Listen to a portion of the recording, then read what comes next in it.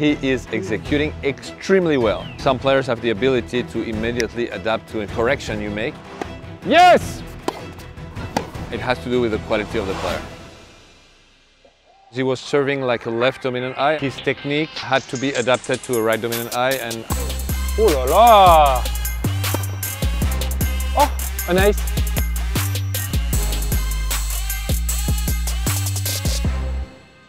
What I love in my academy is to work on building the future of tennis.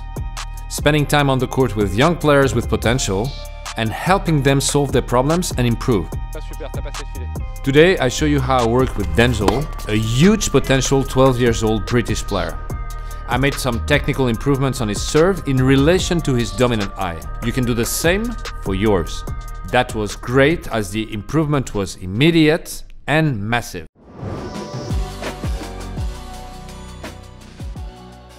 When I start a session with a young player, I have no idea what I'm going to work on, but I observe and I take the time to look at the player in a lot of different situations and I look at what their strengths are and I also look at what they can improve and how can they do uh, maybe a forehand better, a backhand better. Generally speaking, they hit good backhands, good forehands, good serves, but there is always a margin for uh, improvement. What is your best shot, forehand or backhand? Ah, good, tough question. Yeah. Both. I think my, my backhand's very solid, Okay, but I think I'm, I can be more aggressive with my forehand. that's a very good answer. Thank you. And uh, with the backhand, you can hit all the zones easy or? When I'm inside the court, I like going down the line. Okay. In the rally, I like going just cross court deep, Mhm. just to set up my forehand. Okay. Ah, yeah. And then you turn around the backhand and you attack. Okay, I see. So he, he told me he was he feels more solid with the backhand, Yes. but he can uh, he can hurt more with the forehand. That's what you said, right? You agree with you? Okay, good. I noticed that his backhand was uh, short most of the time. That was the first thing I noticed. What I see with the backhand, which is definitely solid, I understand why it's more difficult to hurt with the backhand, ex- except when it takes early and goes down the line. This he likes, is because the motion is very is a bit like like this. Doesn't really go through. So I'd like to to see a bit of those. I want you to hurt on both sides. so I show you what you are doing. Put yourself in position. Yeah. I exaggerate, huh? but you're hitting the ball and then you go a bit like this and then and then you finish. Which means that the, the, the motion is very much like this. So the ball is deep, it's solid, no problem. But when you want to hurt, you have to be able to go through and then finish. Okay? And if the ball is out, for the moment we don't care because you're gonna have more power without trying to. But you'll uh, slowly adapt. Don't worry. Okay? We don't care. What we want is to feel that the hands are going through the ball and then you can finish it. So let's go cross, which is the more natural.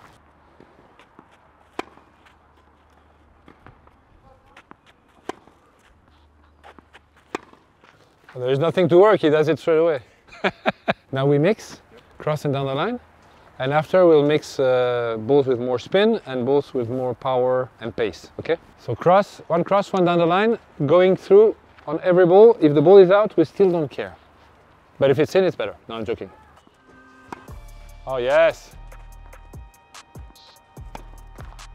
Again, again, this one, push with your hands, push. Yes. Your hands go where you want the ball to go. Yes, perfect, this one. And cross, push.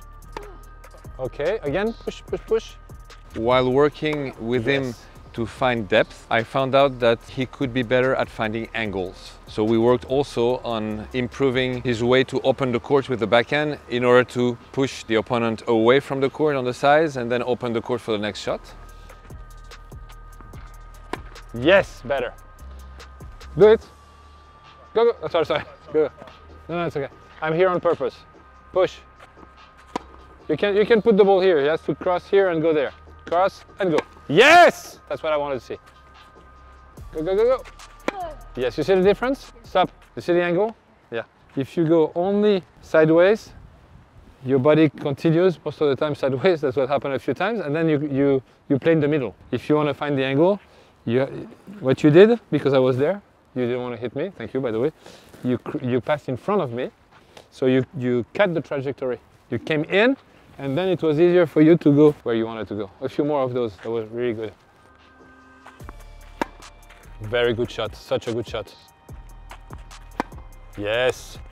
You can go down the line on this one, go down the line. How good is that? Cross. Yes. Now we're gonna mix one deep with spin, one faster with angle. Yes. And one short. Come in, come, come, come, come. Oh yes. How good is that? Again. One deep. And one short. Okay, very good. You know, when you're here, your hands, they find the zone. huh? Your body follows and the hands find the zone with your hands. So if you go only here, you cannot find the zone, you're gonna play middle. That's why I want your hands to really go for it. Push far and deep. Yes! That's the one. And now short. It was uh, tough. One more, one more. Go with your hands. Yes! I'm happy I'm not on the other side of the court, I can tell you. Find deep, heavy. Next one, you open the court. And third one, you, you finish the guy down the line. wow, parfait! Perfect this one. Hands. No, again this one. With your hands. Yes! And now you go down the line. And you finish the guy. Yes! You play deep. Okay, it's okay. I prefer too deep than not deep enough. Short. Yes! And finish. Woo! Deep. Again, it's not deep enough. Correction. Yes, much better. Short cross. Yes, and you finish down the line. Very good. You don't see the guy on the other side, but I can tell you he's running a lot. good job. Thank you. I decided to work also on the serve because I felt that Denzell was uncomfortable serving. And I don't know why, but I also felt that it could have a link with his uh, dominant eye uh, because he was serving like a left dominant eye. I wanted to be sure that it was left dominant eye, which I was not sure of, and he happened to be right dominant eye. So that then I realized that his technique had to be adapted to a right dominant eye, and I was sure that he would feel much more comfortable like that, and that he will have better results. You know what? You know his dominant eye or not? Uh, right. I remember your serve from the last summer, and I think it's much better. Can we add a little bit something? Okay. Look at where you want to serve. You're gonna toss, and your head is gonna go like this. And I would like you to keep it here. Of course, you have to see the ball because your dominant eye is this one. Okay, and I, I want your dominant eye to always have behind the ball the view of the court and not lose it. Okay? I'm supposed to be somewhere around. Don't lose me with your eye. You have to see me all the time. Yes. Yes, I don't care about the serve. Good. That's exactly it. Yes.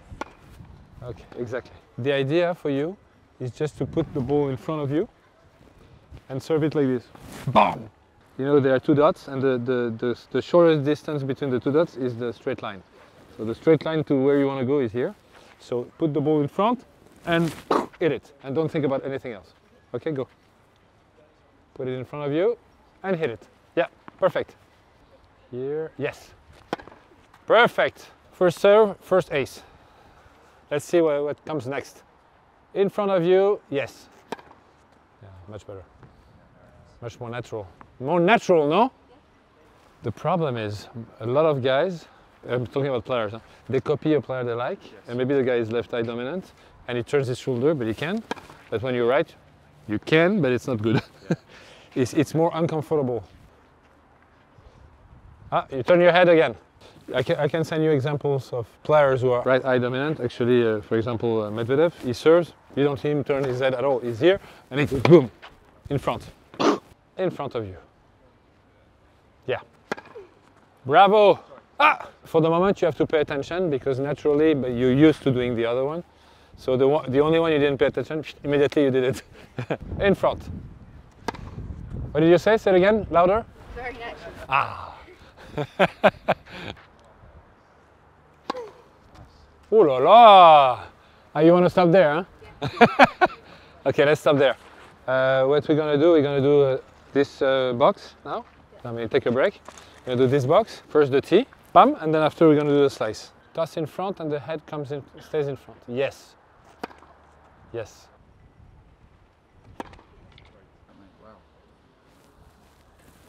Up!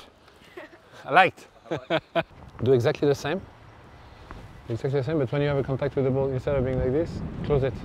Okay. If it goes too far, no, don't worry. If it's too much, it's too much. You, you will uh, find your way.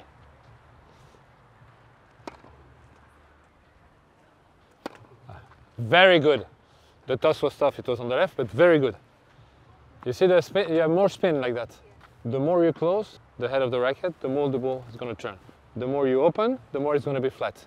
So then you can adjust. You decide. You don't hit the slice because you go and you hit flat and you go with your body.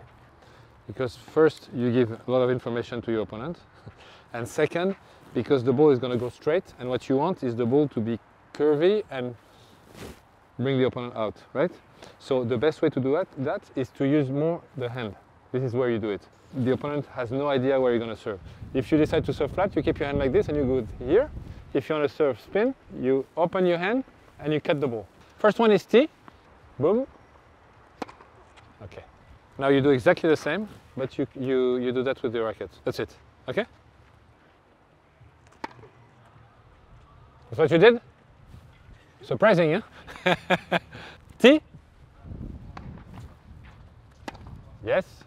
Now you close the racket head and we see what's, what's going on. Oh, a nice. Good. Again, one of each. Et voilà. I think we have to stop there because you did just two aces, two aces in a row. Great job. Congratulations. Thank you. Fantastic. Well done. Max, great job. Great job with the kids. No, thank you. Amazing.